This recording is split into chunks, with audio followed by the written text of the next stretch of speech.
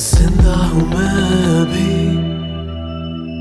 वो लम्हे जो गुजरे नहीं, ज़ाहिर वही।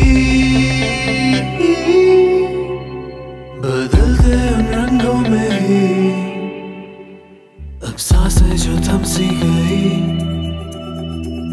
ये आँखें जो नम सी हुई, ज़ाहिर वही।